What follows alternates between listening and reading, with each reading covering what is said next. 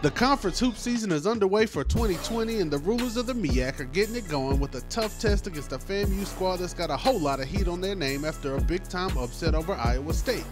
A FAMU squad that's also had the Eagles' number in recent years, beating NCCU twice in the past two seasons. But it's a new year, a new decade, and you can throw everything out the window when it comes down to conference play because you just don't know how it's going to shake out. And you could tell both squads were about that business because the layup line jams were all power moves. Now I know NCCU got shooters, but I ain't know they was out here catching bodies. Woo! Caught me. Cause my camera lens got whacked like an episode of The Sopranos. But y'all know I keep an extra clip as well cause this game day train just gotta keep on rolling.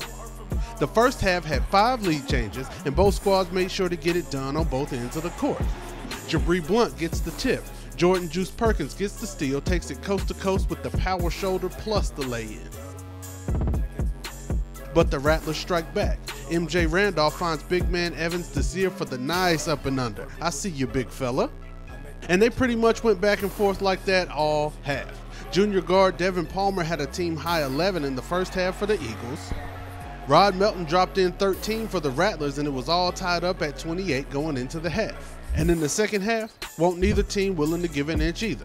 MJ Randolph with the nice pump fake gets the defenders on their feet and makes them pay with the tough left. Juice Perkins, floater with touch.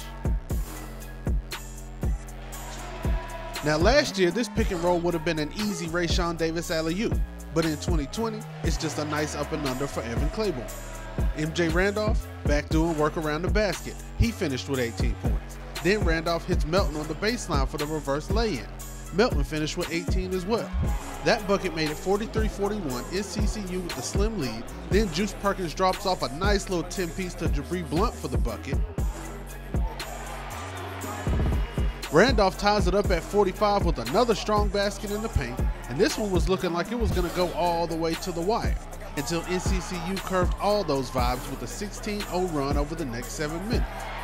Jibri Blunt misses the layup, gets his own board, puts it back up strong. 23 points and 11 boards for the Pittsburgh native.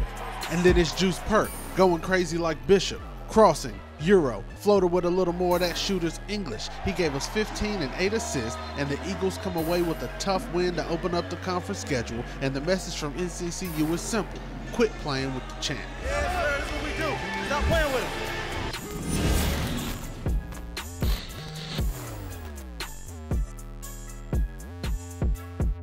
Been in the gym getting my level up. Fenders getting gas, so I mash on the pedal. What? The backboard I crash, slam the rock to a pebble. What? The breeze from the past will assist your irregular breathing handle. Got your ankle in your knee in a disagreement. Now your balance taking off of bereavement. They wanna know what I be cooking up, cause then they think we be even. But I know, look, dish this, so I never seen it. In the gym getting my level up. Fenders getting gas, so I mash on the pedal. What? The backboard I crash, slam the rock to a pebble. What? My team is the strongest and we crushing competitors. Uh.